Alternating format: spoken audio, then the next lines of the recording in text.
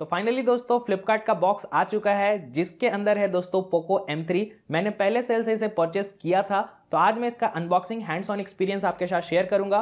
और मेरे पास दोस्तों यहाँ पर से Redmi का 9 पावर भी है तो इसके साथ भी एक छोटा सा कंपैरिजन भी आपको करके बता दूँगा। वैसे डिटेल कंपैरिजन ऑलरेडी चैनल पे है तो जा करके देख सकते हैं। तो आइए दोस्तों, जल्दी से हम करते हैं इसके सील को ओपन और देखते हैं अंदर हमें क्या मिलता है।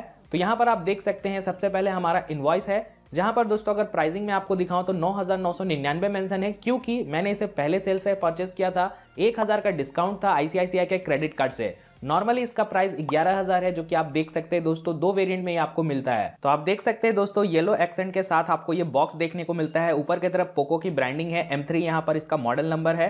India number one quality smartphone brand यहाँ पर देखने को मिलता है। बाकी यहाँ पर छह हज़ार की बैटरी है और यहाँ पर मेड इन इंडिया की ब्रांडिंग देखने को मिलती है। पीछे के बाजू दोस्तों, और भी टेक्निकल फीचर्स देखने को मिल जाते हैं और यहाँ पर मैंने इसे ऑर्डर किया था six GB sixty four GB वाला variant six one twenty eight भी आपको देखने को मिलता है but six sixty four I think more than enough है। तो चलिए जल्दी से इसके सील को हम ब्रेक करते हैं और देखते हैं अंदर हमें क्या क्या मिलता है। तो सबसे पहले दोस्तों, एक और बॉक्स मिल जाता है, जिसके अंदर यहाँ पर आपको मिलता है सिम इजेक्टर पिन एक पेपर वर्क भी आपको देखने को मिल जाता है, हालाँकि इसको कौन ही पड़ता है। तो चलो इसे साइड रखते हैं। बाकी यहाँ पर दोस्तों, आपको मिलता है एक ट्रांसपेरेंट टीपीयू केस जिसकी क्वालिटी अच्छी है। और ये है दोस्तों, फाइनली हमारा स्मार्टफ़ोन। आप में से काफ़ी लोगों ने कमेंट किया था कि भाई, येलो वाला मंगवाओ। तो मैंने येलो वाला ही मंगवाया है। तो इस बात पे यार लाइक तो बनता है। बाकी इसकी खूबसूरती और बाकी सारी जो भी इसके स्पेसिफिकेशन है, उसके बारे में हम आपको आगे बताएँगे। तो चलो इसे फ़िलहाल साइड रखते हैं ऑन करके।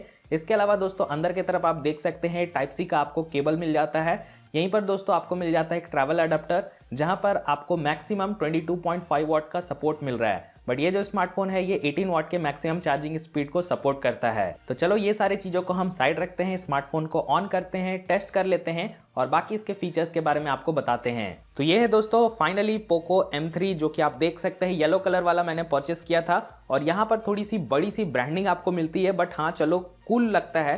बाकी आप बताना कि आपको कैसा लगा और ये येलो कलर मुझे थोड़ा सा टैक्सी टाइप का फील करा रहा है। बट यार, इसकी जो यहाँ पर आपको फिनिशिंग मिल रही है, वो थोड़ी सी काइंड ऑफ़ लेदरी फिनिश मिल रही है, जिसकी वजह से ये होल्ड करने का एक्सपीरियंस आपको और बेहतरीन देगा, जो कि अच्छी बात है, गिरने के चांसेस काफ़ी कम रहेंगे। और ये जो स्मार्टफ़ोन है दोस्तों, ये लगभग आपको 200 ग्राम के आसपास के वेट सेगमेंट में आपको मिलता है। यहाँ पर 6000 हज़ार की बैटरी देखने को मिलती है। और कैमरा की बात करते हैं दोस्तों तो ट्रिपल कैमरा का सपोर्ट आपको मिल जाता है। 48 मेगापिक्सल का मेन कैमरा है। दो दो मेगापिक्सल के यहाँ पर आपको डेप्थ और यहाँ पर मैक्रो सेंसर्स देखने को मिलते हैं। यहाँ पर से दोस्तों, वाइड लेंस नहीं दिया गया है तो इस चीज़ का ध्यान रखिएगा। बाकी बड़ी सी पोको की ब्रांडिंग देखने को आपको मिल जाती है। और ये वाला पोर्सन पूरा तरीके से क्लीन है। बाकी दोस्तों, यहाँ पर अगर हम बात करते हैं फ्रंट की तो आप देख सकते हैं 6.53 इंचेस का आपको एक डिस्प्ले मिलता है, जहाँ पर कॉर्निंग का गुरीला ग्लास थ्री का सपोर्ट है। और ऊपर की तरफ़ दोस्तों, आप देख पाओगे कि एक नॉच आपको देखने को मिलता है, जो कि थोड़ा सा पुराना भले ही लगता है बट अच्छा क्वालिटी का यहाँ पर आपको देखने को मिल रहा है डिस्प्ले दोस्तों, क्योंकि ये फुल एच डी डिस्प्ले है, जहाँ पर आपको मिल जाता है लगभग 400 निट्स का ब्राइटनेस और ब्राइटनेस काफ़ी ज़्यादा है जो कि आप देख सकते हैं। धूप में आपको विजिबिलिटी का कोई भी परेशानी नहीं होगी। बाकी टॉप की तरफ़ दोस्तों, यहाँ पर आपको मिलता है एक ईयर पीस और साथ ही साथ यहाँ पर आपको 8 मेगापिक्सल का सेल्फी शूटर मिलता है, और pre applied screen guard already यहाँ पर है। तो ये थोड़ी हद तक आपके स्मार्टफ़ोन का स्क्रीन में स्क्रैचेज नहीं आने देगा, जो कि अच्छी बात है। यहीं पर दोस्तों लेफ़्ट साइड की बात करते हैं तो यहाँ पर से सिम लगाने का आपको ऑप्शन मिल जाता है और यहाँ पर ट्रिपल स्लॉट आपको देखने को मिलता है, यानी कि SIM one, SIM two H card आप लगा सकते हैं। वैसे सिक्सटी फोर जी में U F S two point one का स्टोरेज मिलता है और वन ट्वेंटी एट जी में U F S two point two का स्टोरेज देखने को मिलता है। तो काफ़ी अच्छा रहेगा, वैसे रीड एंड राइट स्पीड में आपको दिखा दूँगा। यहाँ पर दोस्तों मेन माइक्रोफोन है, यहाँ पर से टाइप सी का पोर्ट है, ये स्पीकर के आउटलेट वेंट्स मिलते हैं। साथ ही साथ दोस्तों यहाँ पर से पावर ऑन ऑफ़ का की है और यहीं पर से आपको फिंगरप्रिंट स्कैनर भी मिलता है। इसका भी टेस्ट मैं आपको करके दिखाऊँगा। और साथ ही साथ यहाँ पर से वॉल्यूम अप एंड डाउन की की है। इसके अलावा दोस्तों सेकेंडरी नॉइस कैंसिलेशन है। 3.5 पॉइंट mm जैक है। और साथ ही साथ दोस्तों, यहाँ पर आपको मिल जाता है एक अलग सा स्पीकर यानी कि डुअल स्टीरियो स्पीकर का ऑप्शन मिलता है। आयर सेंसर भी यहाँ पर आपको देखने को मिलता है। तो घुमा फिरा करके दोस्तों, ये चीज़ काफ़ी हद तक अच्छा है इस प्राइस सेगमेंट में। और स्पीकर की क्वालिटी मैं यहाँ पर से आपको सुना देता हूँ।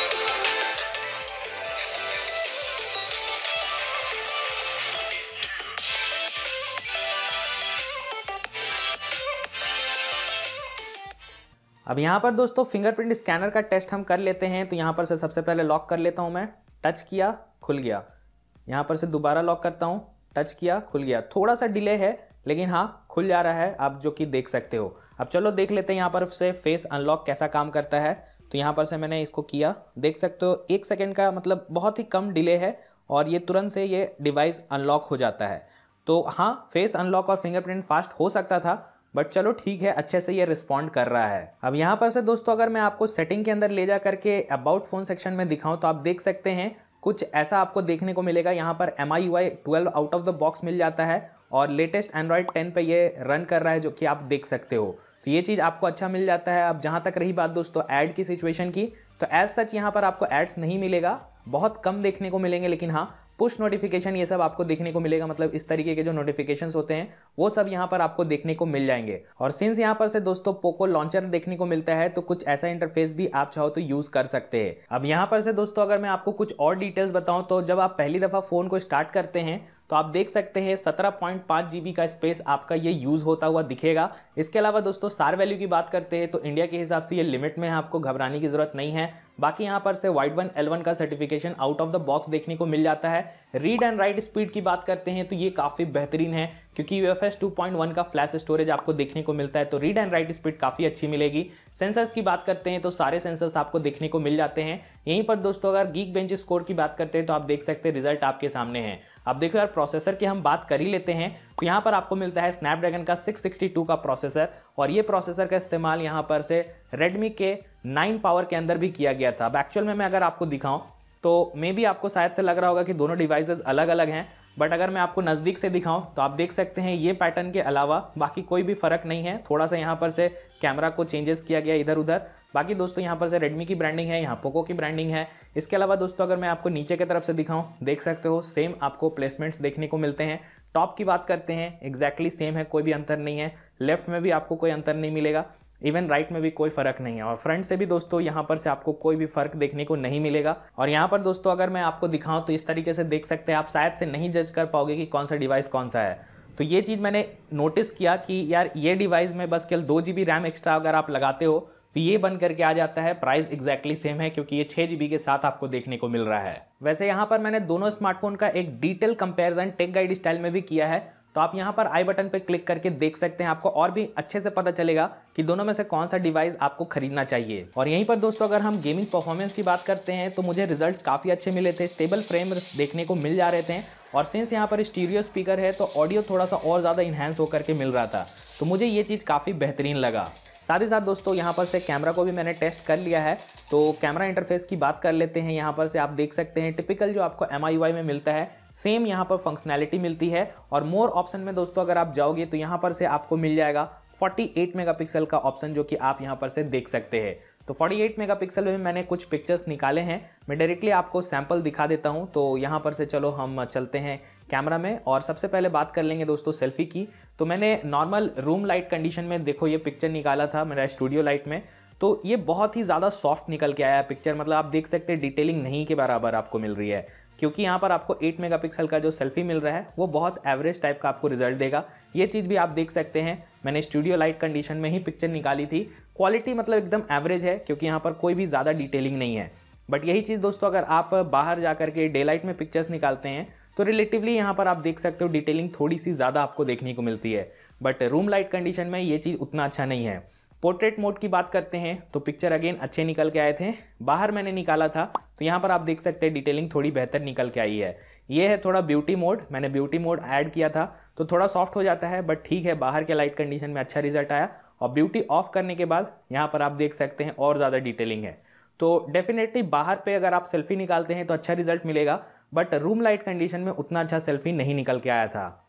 इसके अलावा दोस्तों, मैंने 48 मेगापिक्सल मोड को भी टेस्ट किया था।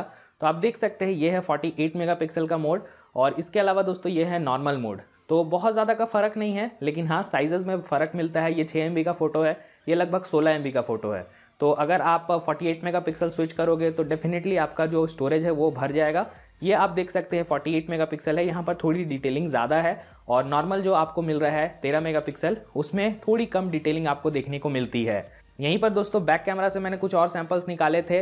नॉर्मल जो मेरा स्टूडियो लाइट कंडीशन है, उसी के अंदर तो आप देख सकते हैं। बैक कैमरा इसका अच्छा परफॉर्मेंस देगा, आपको दिक्कत नहीं आएगी।